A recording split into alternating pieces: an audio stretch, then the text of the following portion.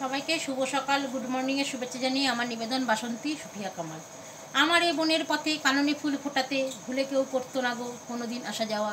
সেদিনের ফাগুন প্রাতে অরুণে উদয়ের সাথে সহসা দিল দেখা উদাসী দক্ষিণ হাওয়া। বুকে মোর চরণ ফেলে বধু মোর আজকে এলে আজিয়ে ভরা সুখে কেবলই পরাণ কাবে একটা প্রবাদ প্রবচন দিয়ে শেষ করছি। কোনো কিছু পেয়ে হারানোর থেকে একবারে না পাওয়াই ভালো। যেটা নাই, সেটা নাই। এটা মনকে বোঝানো যায়, সান্ত্বনা দেওয়া যায়। কিন্তু যেটা থেকেও নাই সেটা মনকে কীভাবে বোঝাবো? কীভাবে সেটা মনকে সান্ত্বনা দেবো? এই জন্য কোনো কিছু না পাওয়ার থেকে পেয়ে হারানোর যন্ত্রণা মানুষকে বড্ড বেশি কাঁদায়, বড্ড বেশি পোড়ায়। সত্যি তাই বন্ধুরা। এবার আরেকটা ঘড়ি, সময়।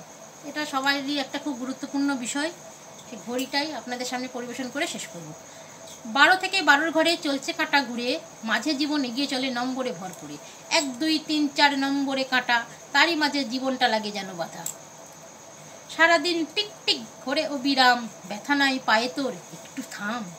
তিন পায়ে ছুটে চলে মাথা ভরা সংখ্যা থেমে যায় যদি হয় মনেতে আশঙ্কা।